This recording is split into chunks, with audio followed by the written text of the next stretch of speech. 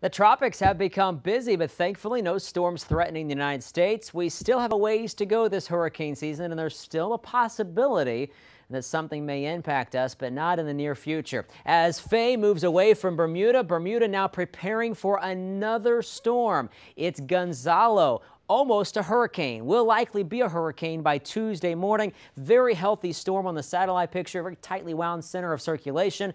And Hurricane Hunter data was coming in to us Monday morning, confirming that we have wind gusts very close to hurricane force there on the eastern quadrant. And uh, this system will likely become a pretty powerful hurricane as it moves over the very warm waters of the western Atlantic. Good news for Puerto Rico. It's likely to stay north and east of that island. Only minimal impact there, but the island of Bermuda could be ground zero for this storm, possibly a category two or stronger by Friday and Saturday. Notice though, it's moving north and east away from the United States and all the forecast data suggests it'll make that turn. There's all the potential forecast tracks from the various uh, models and they're all pretty much within that cone of uncertainty from the National Hurricane Center. We've got a cold front moving through the state which deflects tropical systems and thankfully that is happening right now. But still, this time of year, depending on the timing of these fronts, if something were to fester here in the western Caribbean or southern part of the Gulf of Mexico, it still could impact us. So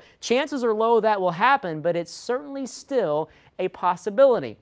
Anything that develops near the Yucatan Peninsula in this type of weather pattern would probably move in the direction of Florida. But once again, those chances are low at the present time, but it's certainly something we will be watching over the coming weeks. Just a heads up, the front coming in Tuesday could spark some severe weather in the panhandle and northern portions of the state. Wind damage the primary risk.